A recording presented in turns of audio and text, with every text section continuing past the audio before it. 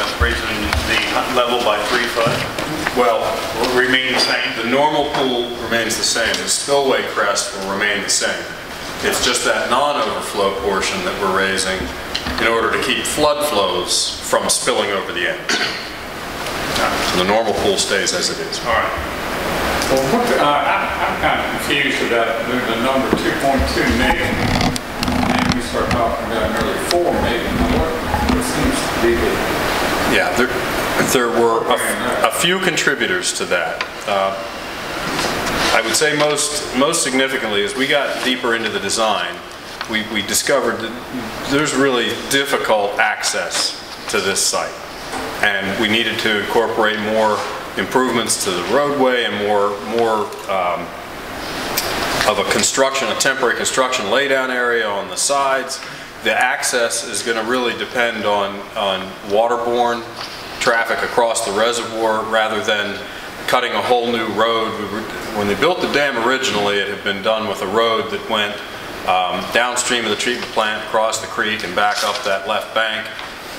But that, even to redo that would have pretty significant environmental impact and uh, doesn't really serve all of the areas that we need to be working, like up on the higher area of the- of that left abutment. So what we started looking at, well, how else can we get there? We looked at access around the upper end, maybe coming down somehow to, to a a launching area for barges or something from, from the upper end of the reservoir. That wasn't going to pan out from an environmental standpoint. So we're basically looking at developing construction access on that right abutment and, and putting some um, watercraft and barges basically in to be able to work back and forth on the back side of the dam. So that's, that's part of it. A little bit of escalation just in terms of, of uh, time, because years are going by here, so that was an earlier, an extra year onto the um, escalation. And, and just refining the unit prices and refining more of the design details. Things just wound up ratcheting up more. quite a bit of action. I, uh, I, 4 million. I was surprised at it when we, when we got to that number.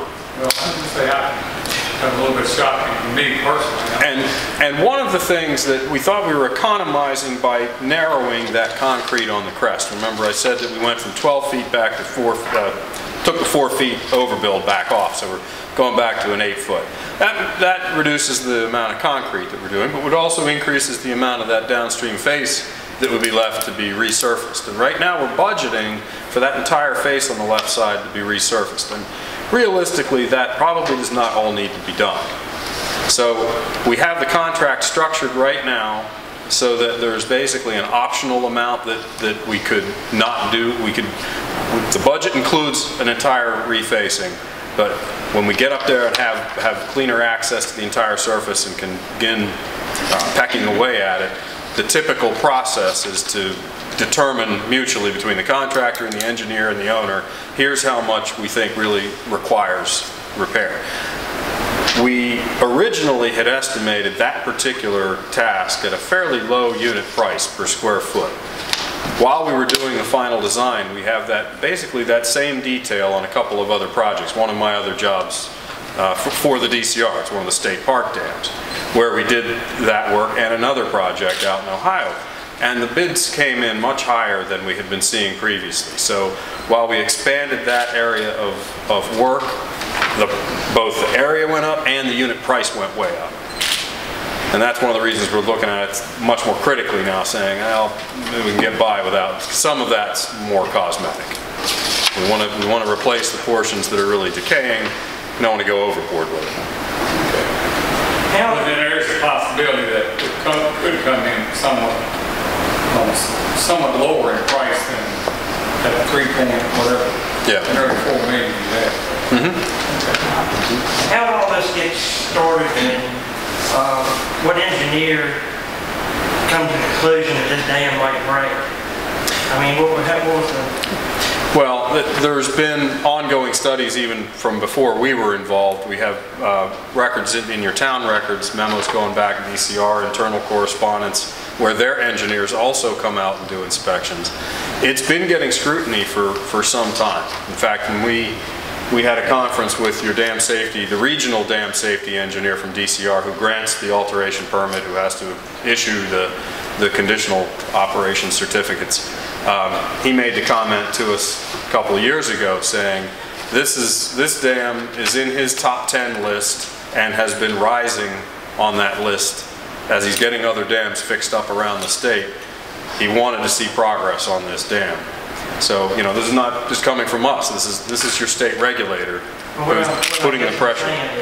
What, what engineer failed us and put it under consent? Draper and Aden, Gannett, the state, or who? Well, it's, it's the state who has to issue the permits. It's the state who issues the, con- the operation certificate. Well, I, I tell you, I came on council in 2004. That program, that's when WW had the thing, and they, there was a big discussion at that time about the need for work, about some of the cracks in the dam needed to be grouted or whatever they were talking about doing, and then they got into talking about putting in all the new lines and all that stuff in the upper dam. Uh, anyway, it ran up, they were talking, figure, nearly six million dollars then.